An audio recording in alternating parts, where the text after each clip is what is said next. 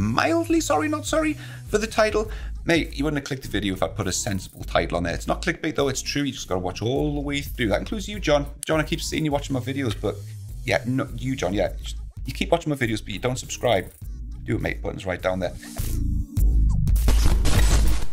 Autodesk Fusion for manufacturing, Autodesk Flow for media and entertainment, and Autodesk Forma for architecture, engineering, and construction. This, this is the future of Autodesk made. Asterix, in my opinion, all of this is underpinned by the Autodesk platform services.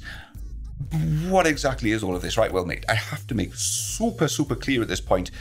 Almost everything I'm going to say in this video is pretty much my own opinions, mixed in with some stuff that I know, but also served up with a hearty dose of much speculation. Because frankly, at this point, mate, we haven't been given much information to go off, but when you read between the lines, you can draw some fairly educated conclusions here because based on what's been happening already and what we've seen at the keynote at Autodesk University 2022. So all of this was introducing two new dynamics for Autodesk. Well, one new dynamic, another kind of renamed thing, but uh, they're both linked. But anyway, this, in my opinion, is the future trajectory for Autodesk. These three things here are the eggs, and they're putting them all into this comfy like basket. Uh, and the basket mate is what they call Autodesk Platform Services. It was formerly known as Autodesk Forge. Yeah, that's yeah, the, another another product rename. But in their defense, this one actually makes perfect sense because that's exactly what this is. It's a platform for the development, hosting, and delivery of services. It, it's good when things make sense, mate. It's a good thing. Anyway, if you were never familiar with Autodesk Forge before it was rebranded to APS, Autodesk Platform Services, it's essentially a collection of APIs which are application programming interfaces. So an API is something that a developer or a programmer can use to develop software, which then communicates or interfaces with other software. That still sounds like a lot of high level waffle, Think of Autodesk Inventor, right? For example, that's got an API. The API for Inventor allows access into the back end of it and gives a programmer a way to link their custom program to actual Inventor functions. Think about it this way, mate. If you need, if you need a custom program and at some point that program needs to save a file that's currently open, realistically, your program can't move your mouse cursor to the save button and then click it that's not that's just not going to happen. It's too unreliable. As is using keyboard shortcuts in a custom program, too unreliable. So the developer will actually activate the save command in the background using a specific line of code which Inventor provides, which is essentially an instruction. And when it's run, that sends the instruction to Inventor as part of the custom program. But in order for the custom program to even know that this specific instruction exists, you basically load in a set of libraries containing all of these instructions into your custom program, which is what they refer to as accessing the API. And the developer can then reference all the documentation for the API to understand exactly which instructions are available and what they all do. So, with the Forge APIs, now known as Autodesk Platform Services, these are at least currently a set of instructions that allow developers to create custom programs that enable the likes of Revit, Inventor, AutoCAD, all to talk to Autodesk's cloud services. And one example of where this was used is a product called CADshare. So they use Forge to call on the Autodesk Cloud Viewer, that's the API part of Forge, which then also used the model derivative API. So what CADshare does is it takes an Inventor dataset that your company will have modeled up, drives it into a lightweight translated file for optimized viewing in the Autodesk Cloud Viewer, it's then going to extract the metadata out from your Inventor files and then uniquely present that and leverage it in a custom program. What does the custom program do? Well, CADshare is a way of allowing your clients to purchase spare parts for products that they've bought from you. So if your client needs a spare part for something they've bought, instead of having to scour through clunky paper catalogs or online endless lists of part numbers looking for what they need. They can access the cloud viewer on your website, for example, open up a web browser, view the 3D model of the thing that they've bought from you, click the part that they need. That's going to then present the metadata to them to confirm, yes, that's the part you want. And then they can purchase that part from you with an add to cart style checkout service. I should be selling these plugs. Oh, you're welcome, Chris. Uh, so that's just one of many examples of how Forge was used in the real world, with Forge, of course, now being renamed to Autodesk Platform Services. What about those three eggs, mate? Well, these are what Autodesk are referring to as their industry clouds, and they describe them as comprising of Uh, comprising of products that connect processes and streamline workflows in that industry, offering capabilities that span the full life cycle of the project. Mate, mate look, that's just the official line. It's high-level sales part of that. Essentially, someone can just slap against any of Autodesk's collections, for example, and it would make sense. But the keynote to Autodesk University 2022, this is how it was pitched. I believe that it is time for us to disrupt ourselves and pursue different ways of working. Now, at Autodesk, we have an opportunity to harness the cloud, to rethink the tools you rely on, and refocus them around a new paradigm.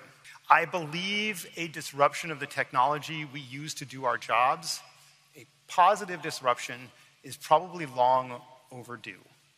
So, our industry clouds aren't simply incremental improvements to the software you already have. Our industry clouds are different. They will help you drive an entirely new way of working. They'll bring the capabilities you know and love from our current portfolio together in new and powerful ways that will ultimately transform the way you work. Now, I'm going to paraphrase quite a bit here because it was quite a long speech, but this is a new paradigm. It's a new way of working. These are not incremental updates to the software that you already use. They bring the capabilities from the current portfolio together in a new and powerful way. They're going to transform the way you work. You, not not other people, not that guy over there who does something different and totally you changes the way you work. Today's climate post pandemic requires design tools that are fluid, not rigid. Now, the example used to showcase all of this was Fusion 360. And this is where you have to start reading between the lines. Because with Fusion 360, they say they've already unified design, simulation, CAM, electronics, and data management all into one package or a service in the cloud, automating processes to eliminate guesswork Fusion 360, you'll soon be able to automate part designs and tool paths, and you can do that already, that's what was said, and automatically generate drawings and dimensions. But the cloud is going to take Fusion much further. It's going to take Fusion much further. They want all the data relevant to a product's development, how it's designed, manufactured, to be used, and flow through your organization from top floor to shop floor. Now, this was the example given Fusion Industry Cloud. This wasn't just a talk on Fusion 360, this was the Fusion Industry Cloud, the entire cloud. And the reason it was so finely detailed on the keynote is because it's the furthest one forward and progressed in development at this point out of the three of them. Now, there was some very, very strong language used during the critical presentation. Today's climate requires tools that are fluid, not rigid. There's a lot to look into there. This will all be a new way of working, not incremental updates to the software you already use lines to read through there. It's a time for us to disrupt ourselves. So again, mate, everything I'm about to say here is 100% speculation based on that speech and likely not going to happen anytime soon, right? Don't panic. But what I read into this, what I was hearing was this is the beginning of the end for the majority of Autodesk's desktop applications. What was spoken of, what was described, was a cloud based ecosystem of connected services, modular components, connecting an entire organizations and their teams all together from design through to manufacturing, all the way through to the likes of procurement, with all of Autodesk's offerings hosted within that Fusion Industry Cloud, underpinned and ultimately probably built upon the Autodesk Platform Services APIs. So, with all of that, where does the likes of Inventor fit into all of this? In my opinion, it doesn't. Inventor is a 23 year old old school application. It's just far too old it's not suitable or worth the investment to transform or transfer into being a cloud-based service. Now, of course, Autodesk can't say that during the main keynote. It'll cause mayhem with the stock price and send customers spiraling. And before you write that comment, mate, stop. Before you write that comment about Fusion 360 being way behind Inventor in terms of functionality or performance, yes, it is. But I repeat, this is not happening today, tomorrow, potentially even in the next five to 10 years. Similarly, please try if you can.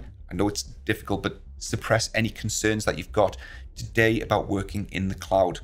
Because today's thinking doesn't necessarily apply to the reality of tomorrow. If your business is currently steadfast rejecting, it's got policy to reject anything cloud-based, that's that's fine. again, that's today's thinking. All of this is for tomorrow. With I'm using, and I'm using tomorrow obviously as a metaphor for way ahead in the future, like probably way beyond and past your time, my time, possibly even, and obviously the current owners and stakeholders of the company that you work for. But mate, this is all inevitable.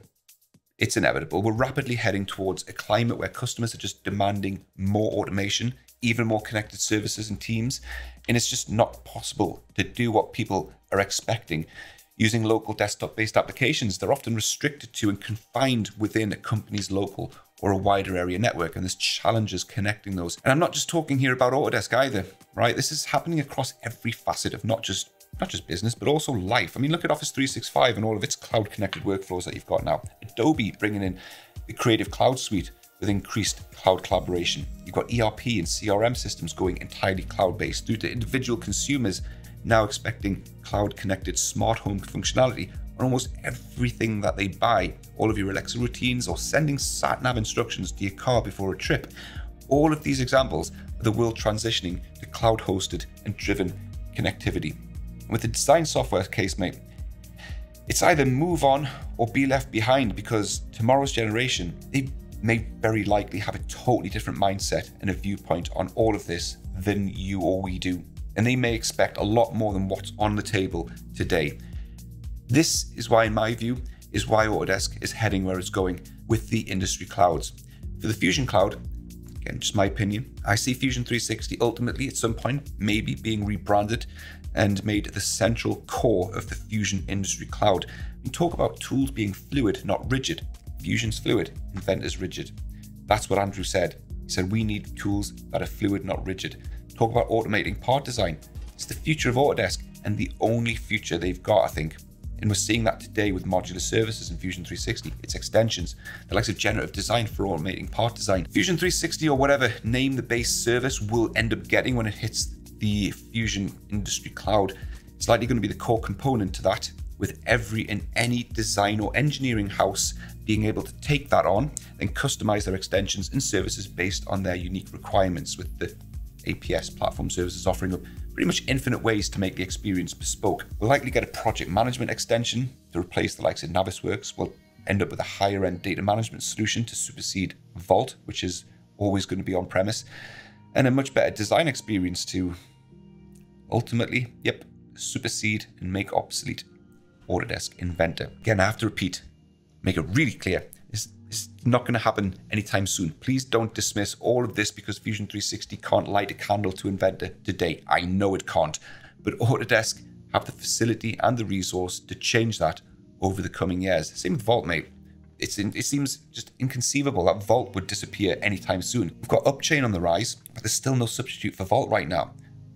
That's right now. And as for concerns about hosting data in the cloud, again, mate, let your future colleagues, some who might still be an itch in their daddy's pants right now, let them decide on and judge that. Businesses change, attitudes change, policies change. Today through to tomorrow. So that was the Fusion Industry Cloud, mate. What about the others? Forma and Flow. Well, these two are very likely, in my opinion, again, going to have the same methodology and ideology applied to them. However, as it stands, they're a little more, a little more difficult to map out because aside from Formit, Autodesk don't currently have a public-facing cloud-based capable solution for both AEC or media and entertainment for that matter to rival the likes of Revit, 3ds Max or Maya. What they do have though, are the beginnings to an ecosystem Autodesk Construction Cloud, for example, that contains multiple cloud-based BIM services that could easily inherit a key role in the Forma cloud, as would SpaceMaker and Tandem. Tandem being a digital twin management platform. All these acquisitions that Autodesk could be making of cloud services, there was a motive behind that. So with Flow and media and entertainment, I personally see this one as being one of the most difficult to pull off because M&E customers, media and entertainment guys, those guys often need the latest and greatest local hardware solutions for huge digital pipelines and processing. But again, mate, that's today's problem.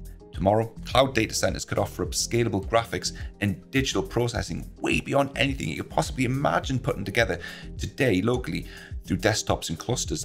ShotGrid that's likely going to play a central role in the Flow Industry Cloud, but how they offer solutions comparable to 3ds Max or Maya in the cloud, I think they're both way too old to port into a cloud solution. So I don't know at this point where they'd end up going with that. Why though? Why all? Why are they doing all of this? Ultimately, what's the benefit to the end user at the end of all this? Well, again, mate, in my opinion, today, just look at how everyone works. We're quite restricted when you think about it. You, you, you kind of get used to it, you don't think about it, but we are quite restricted and somewhat held back by data formats, file types, file quantities, and storage. When you think about it, mate, we're still working on and with individual files like we were 30 odd years ago, right? AutoCAD's got its DWGs, Inventor's got its IPTs and its IAMs, Revit's got its RVT files, and they all often need to reference multiple other files in order to function, which can be difficult to track, difficult to manage, and crucially, quite difficult to share when you want to. So when you think about it, mate, it's quite archaic that someone using Inventor can't just send an asset over to Revit without needing a complicated translation plugin or some interoperability module just to send data across two main hero applications. Someone using Revit can't just hand over a file, just there you go, to an artist using 3D Studio Max without having to translate the file, which then results in textures being lost, critical data about that asset being purged once it eventually makes it into 3D Studio Max. Reading between the lines here, Autodesk is striving towards a completely unified ecosystem of tools unrestricted by file type. Take a guess at which product currently has no native files. Yeah, Fusion 360, mate. It's got a data panel where your designs are essentially assets. Sure, you can export files out as F3D files, but within Fusion, they're not files, they're assets. And I believe Autodesk are heading or striving towards having all of their three industry clouds being able to seamlessly interchange assets, free from any conversions any need to translate, and any file type incompatibilities. An asset or a design created in a, the Forma cloud should be fully recognizable and usable with all native geometry, metadata, and visual fidelity recognized when you push that through to the Fusion Cloud, for example. There's even talk at the moment of an asset system like this being close to fruition within 3D Studio Max and Maya, which when it comes, mate, keep a close eye on that because that's very likely the start of a very long journey that Autodesk currently on. So again, I have to repeat all of this is my reading between the lines and pure speculation for the most part. I beg you, please do not reconsider your Inventor subscription. Don't ask if you should reconsider your Vault subscription.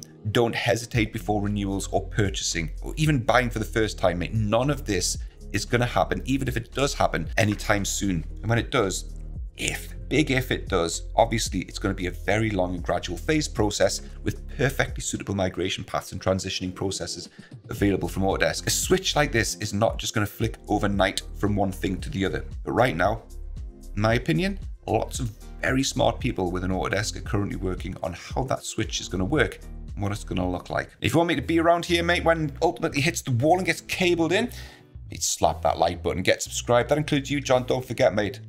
Got my eyes on you. My name's Neil Cross. This is Tech 3D. Thanks for watching. I'll see you in the next one. Toodles.